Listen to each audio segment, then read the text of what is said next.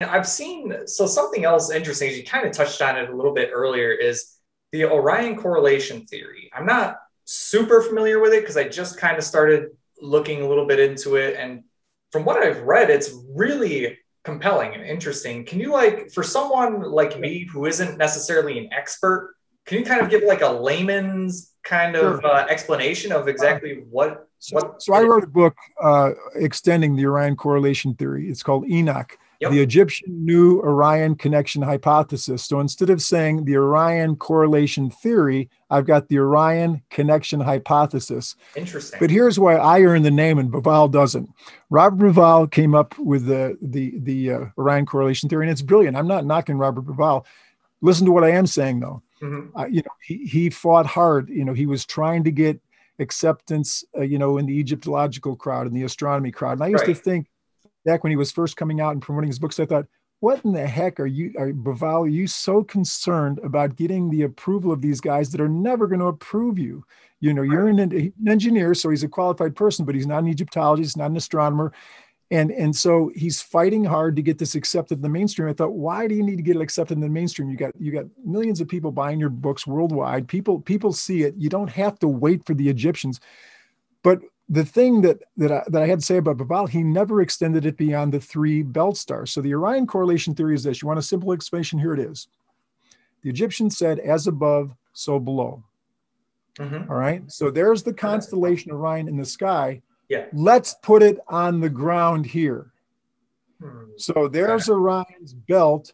Oh, the three Giza pyramids are his belt. There's a correlation between the sky and the earth, as above, so below. Okay, so that's the Orion correlation theory. Let's correlate the stars with the pyramids. So you've got three stars and you got three pyramids. Okay, great start, Rob Bauval. But who is known by their belt?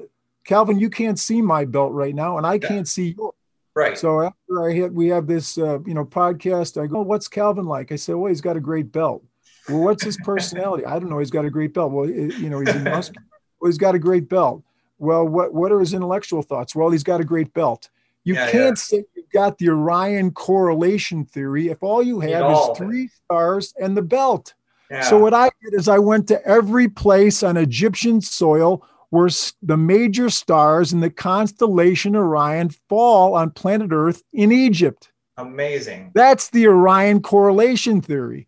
And, and I've said this many times, and maybe your podcast, I think I'm the only person in the world who's done it. Now, I'm not boasting. I am not boasting. Mm-hmm. I, am just being honest. I think I'm, if there's somebody else, I want to talk to you. I want to meet yeah. you. I want to correspond with you. I'm all alone in this corner saying I alone have done it. Yeah. And I've said that many times because I'm saying it to be provocative. So somebody says, Hey, no, I know a guy who did it. And no one has come at me and said that. Very interesting. Bauval, I think, tried to in the beginning, and he, I know why he didn't, why he didn't find it, because if you take the three the, the three pyramids in Giza, they do correlate with the with the belt stars. If that's all you look at, but if you extrapolate from those three stars, in other words, take the astronomical units, how far apart are those stars in the sky? Okay, then use that scale to go to Betelgeuse the shoulder, Bellatrix, the other shoulder, Rigel, the foot, Meissa, the head. And you'll come down and you won't have anything. If you use the, the scale the, of the, the, the, the spacing of the pyramids to correspond with the spacing of the stars, then from that you could lay out the entire constellation of Orion on Egyptian soil.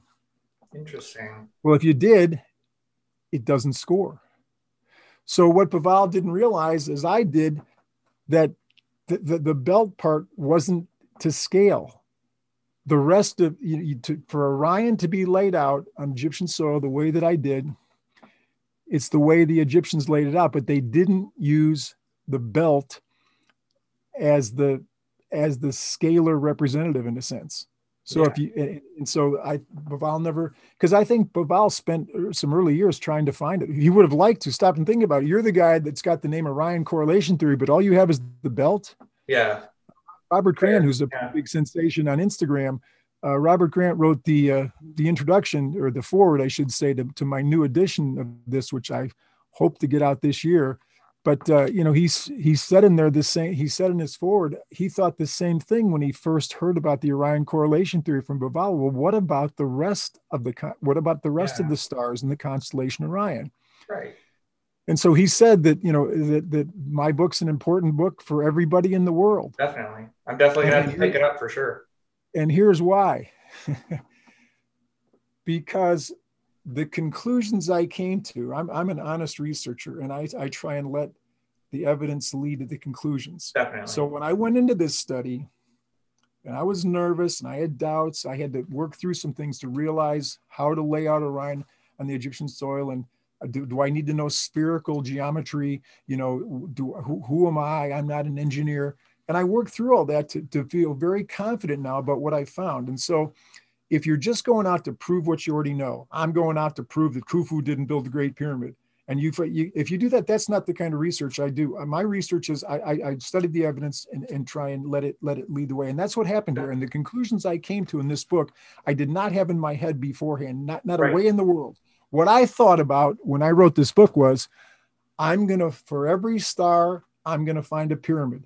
That astro archaeological intent was my whole intent that as above, so below. Star, pyramid, star, Definitely. pyramid. That's what I started with. That's not where I ended. Yeah. I mean, so, uh, you know what? I, I